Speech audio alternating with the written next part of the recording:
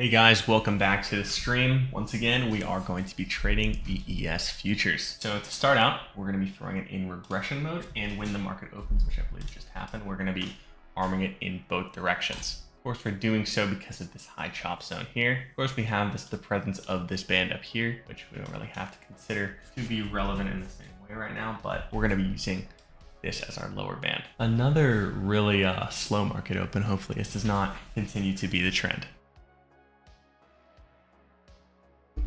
All right, so there goes our first fill of the day. Um, we're gonna be arming in both directions, basically just queuing up the next order and ensuring we know that if there's another trade after we get filled or stopped out, then our strategy will still be enabled and automated.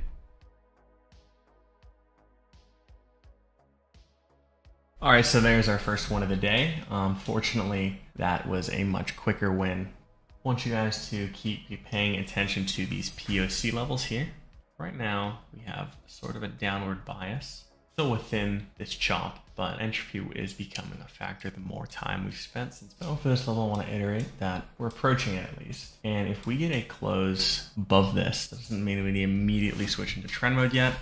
This was so far ago that we need to wait for additional confirmation. This is compounded by the fact that we didn't see absorption at this level, didn't even reach inside of this zone. So we need to see some kind of POC zone form here. Before we switch it out off regression mode into trend, if we see a breakout. I'm just trying to give you guys the rundown what my thought process is. And a lot of that has to do with thinking of various scenarios that come out of each one. Of course, if we break down here, probably would be in a pretty immediate switch the trend mode because of such how much of a drastic move we'd need to have for it to break out of this level, at least in the short term.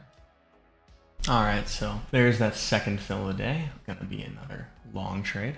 Um, this time it's right outside of this zone.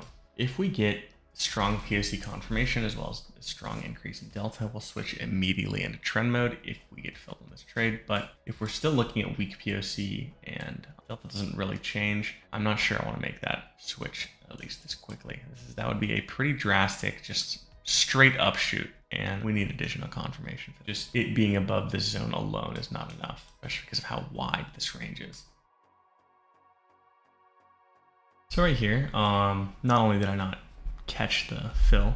We got filled pretty quickly into another trade. I do want to point out that, of course, we had a wedge-shaped POC here. So you can see that POC is near the bottom of the bar, and you can see that as we get higher in the bar, it gets skinnier and skinnier and skinnier progressively. Target. And we got filled really quickly on that trade. Just complete depression there, right back into this zone. And that's really what you got to look out for on these things. That happened really, really fast. But stuff like this, where it's a very sticky zone, and with POC being forming a zone right below it, they're going to see that happen. I mean, I definitely don't think that that was a predictor of this huge just wall right there. But nonetheless, I think it's pretty interesting. Now we're getting that volatility. So we had consecutive back-to-back fills there and we haven't switched out of regression at all. Um, it's just been ping ponging throughout the zone. Target fill. And there's another fill. Wow, we're we're just getting total different total difference from um, our last day yesterday. If we win this trade, that's I think that's gonna put us right above our um our take profit for the day or our profit target on the day. So we actually have just been in regression mode the entire day. We haven't changed anything. There's no action on us. It was just you guys had done the exact same thing where it was just leave it. Same thing would happen Of course, if we get stomped out here, we will have to rearm the strategy.